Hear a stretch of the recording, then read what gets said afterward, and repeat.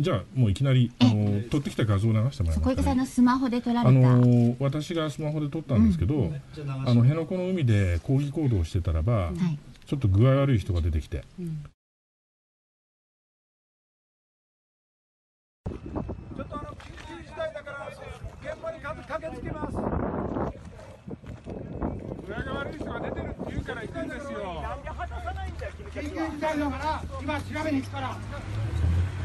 緊急事態だからいや国会議員に逆らうな。国会議員に逆らうな。支援を呼んでこい。危ないことやめろ。危ないことやめろ。危ないことやめろ。危ないことやめろ。危ないことやめろ。危ないことやめろ。えっとあの、あれだけだとちょっとよくわかんないと思うんですけど、要はねあの海上であの、まあ、海上保安庁の、まあ、保安官が警備してて、でまあ違法な埋め立て工事ですからだって知事は埋め立て承認取り消したんだから、やめろって抗議をしてる、まあ、そのカヌーの人たちとかを、もう実力でこう排除してたんですよね。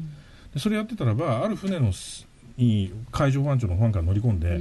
あの船長を押さえつけていったらば、具合悪くなって意識がなくなって、嘔吐してるっていうそういう無線が入ったんです。でまあ、一応僕医者、まあ、免許は持ってるんで。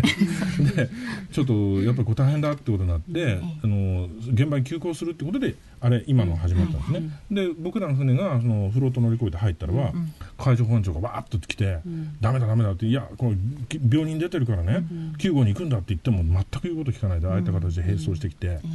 であれビデオはあれで終わってるんだけどあの後接岸して、その船に乗り込んできて保安官が、定員オーバーなんですよ。そうですうん、でも3人乗り込んできたから、定員定員オーバーじゃないかって言ったんだけど、あの乗り込んできて、なんかこっちはね、その病気になってるっていうから助けに行ってるのに何なんだっていう話でわーっとなって、そういったらまあ海上保安庁のことも方もまあ仕方がないかなっていう感じになって、で一応あの船に近づいていってその同時にあの2つの船で並走して港まで行って、で僕救急車に乗ってその方と一緒に病院まで、あの県立北部病院っていうね名護の一番大きな病院まで連れて行ったんですね。で病院あの救急車の中で、まあ、だんだん意識が戻ってきて、もうずっと言って怖い怖い怖い怖いってずっと言ってて、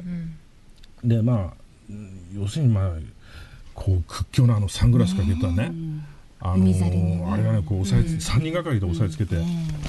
でこれあの沖縄の新聞ではかなり話題になってて、海保が強権ぶりを露呈して殺されるかとっていう、まあ、大ニュースに今沖縄ではなってて、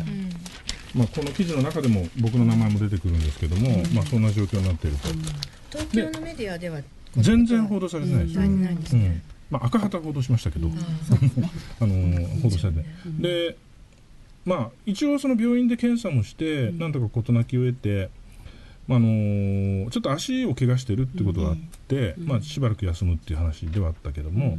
まあ、その後お家に帰られたと聞いています、だただねものすごいやっぱり暴力的、ちょっとね凄まじい状況になっていて、やっぱあのあれだけその民意がはっきりして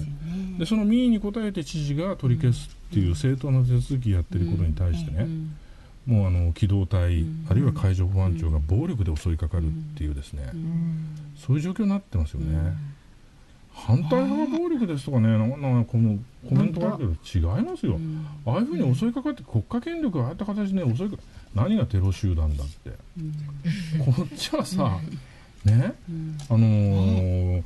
具合が悪くなった人の救護をやってるのが何がテロ集団ですか、本当にはとんでもないですよ、